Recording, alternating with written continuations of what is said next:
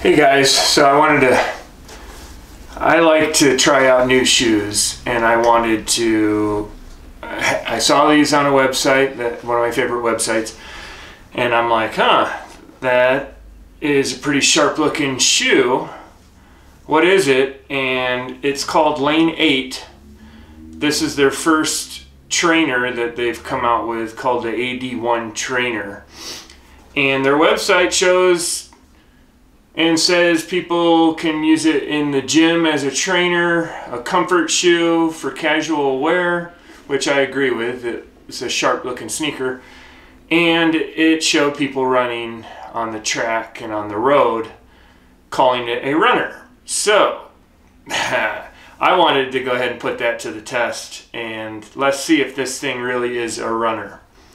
Uh, I put it on my foot. I wore it to work yesterday their website does say that it it starts off as a tight fit, and I got these in 12s. That's my normal size in pretty much every shoe, and it was a bit snug. Uh, so much so that I actually loosened up the laces on my forefoot. It was starting to, but the the website said that they'll stretch and fit your foot within um, with some wear.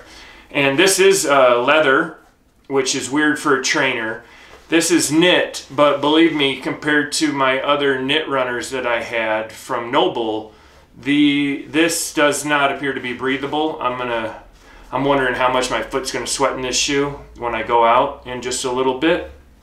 Uh, but it is sharp. It's EVA midsole, very comfortable as far as the cushion. It's not. Uh, it's very hard. It's a res responsive midsole. It's not. It's not. Uh, it's not it's firm. It's not squishy. So i'm i'm used to running on squishy hokas and really absorbive absorbative um, cushion. So this is different and uh, i'm looking forward to it.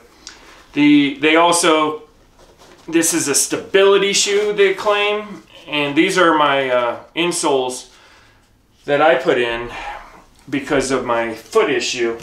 The, they did come with well, here's the box that came in.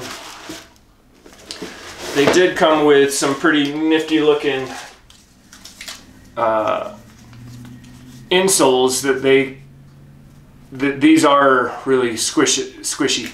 They claim that these offer a lot more cushion, um, but with my foot issue, I'm much more comfortable in running in my um, orthotics. So these go into the box like all my shoes and my, my orthotics come out.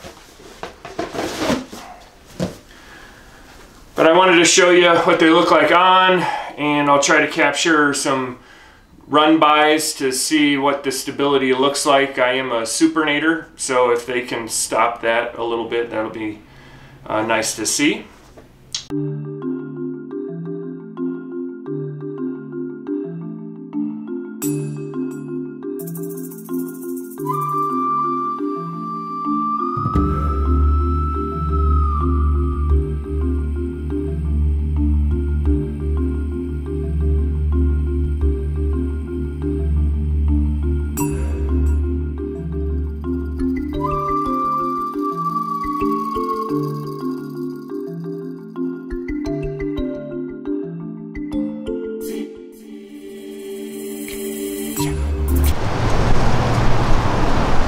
I just did four and a half miles on these.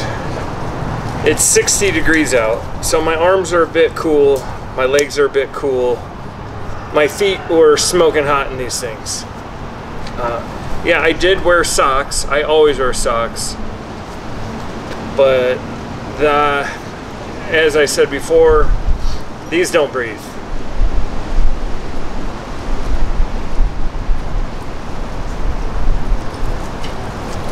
I usually put quite a few miles in before I make my determination on these, on shoes.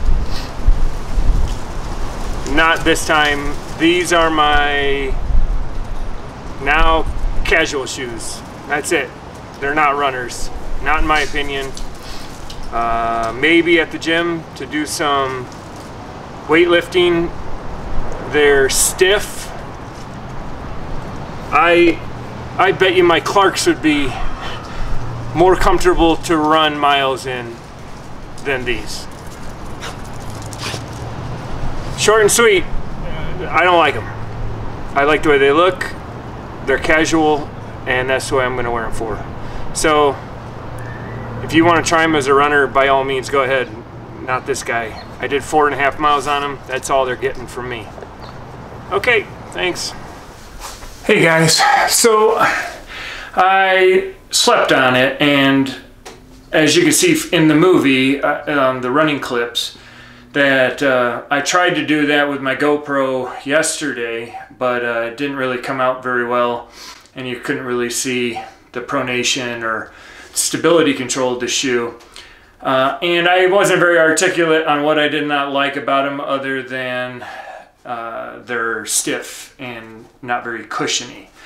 So I took it out today. I went for a trail run, so I brought these with me, put it up on, uh, put the camera on the ground, and then slow motioned it for you so you could see.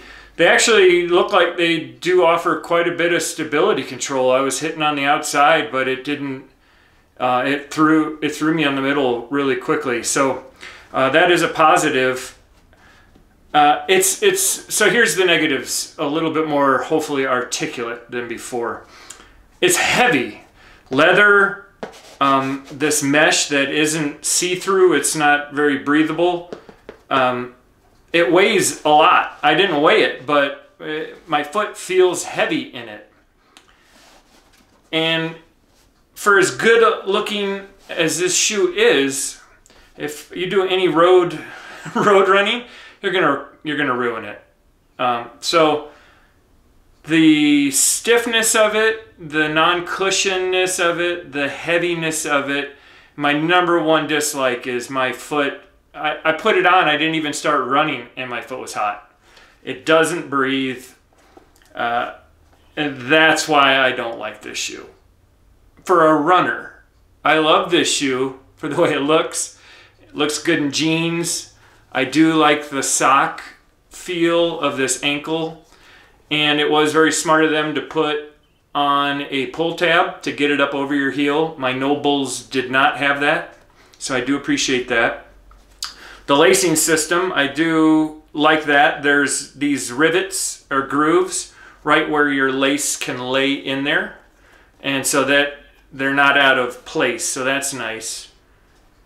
So hopefully that helps you try to make your decision. If you're looking for a pure runner or something that you can wear out and uh, go to the track or do a 5K on a road, um, yeah, this probably isn't it, in my opinion.